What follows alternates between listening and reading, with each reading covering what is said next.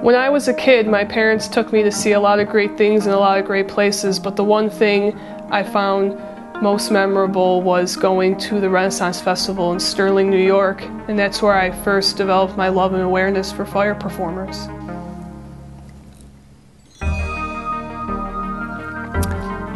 Yeah, my mom took me to tap and jazz and dance classes as a kid and always um, supported me in doing that and definitely um, helped influence me wanting to become a performer and helped me to become the performer I am today.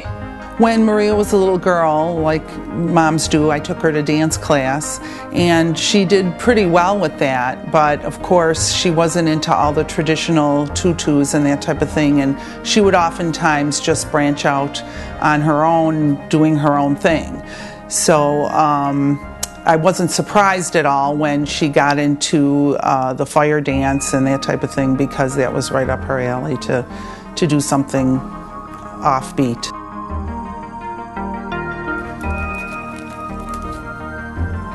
In the summer of 06, I started traveling without my parents and went to my first festival, and it was there that I seen fire performers again and really reconnected with that, following the Grateful Dead and going to these shows, and I decided I wanted to be a part of the scene and not just listening to music but becoming a performer.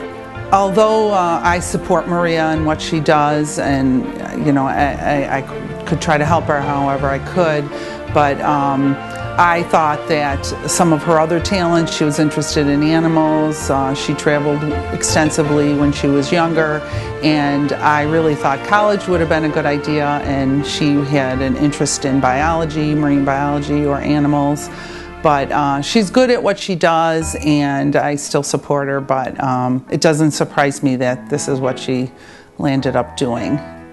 Aside from my love of fire performing, I'm also running a business. As you can see here, all these hoops are already decorated. The tubing looks like this when you first get it. I use a range of widths and size tubings to make hoops for everyone of all ages. I have a website and you can go and see a lot of hoops like this in different styles and sizes and colors. Everything from patchwork hoops to clear coated hoops for protection. My goal is to continue to run a successful business and advocate the good benefits there is of hoop dance to everybody, both for fitness and for fun. Another important aspect of my business is promotion, which I do through various networking sites like MySpace and Facebook. I also have a website of my own, hoopnosishoops.com. You can go to these sites and others like YouTube to view old shows and footage of my performing. Another important aspect is promotional videos, which I've made in hopes of continuing to book indoor venues, as well as music and art festivals and other events. Another important aspect of my performing are costumes and wardrobe, like the one you see here that I haven't worn yet, but I think I'll wear for the first time tonight. It'll also be the first time I'm performing at a gentleman's club in Salamanca, New York, and I hope to continue to incorporate hoop and fire dance into all types of ranges of demographic and venues.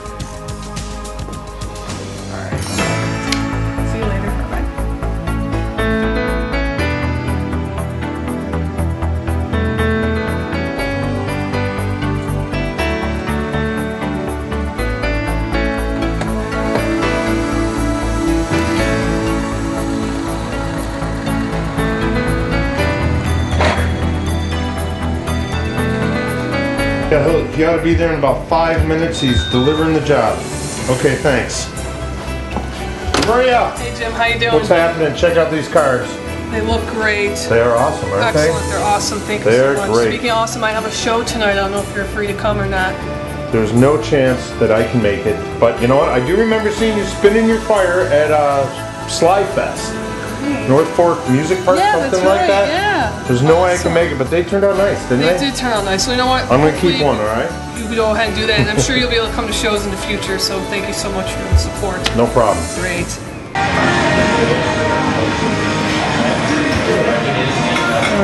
Hey Doug, do we have everything set and ready for the show tonight? I got everything we need, all the fire extinguishers, safety rope. We're gonna really First control the aid? crowd tonight. We got the first aid kit going. Great. Okay, because you know. know safety's number one.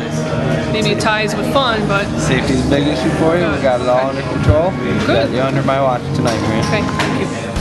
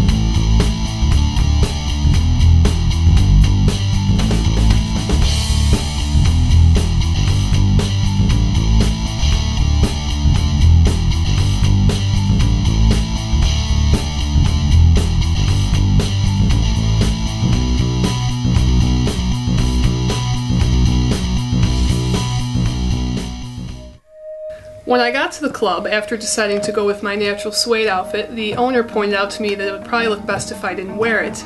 Given the nature of the club, I agreed, and I later found it to be fun and advantageous to perform for this type of venue, and I hope to continue incorporating fire and hoop dance into adult venues. So after the show, the owner suggested that I go into the private booths and private rooms and give dances. I elected to sign autographed pictures of myself because while I'm a dancer, I had to remind him that I'm a fire dancer and a featured performer. And while I may be coming back to the club, I plan to maintain professionalism when I do.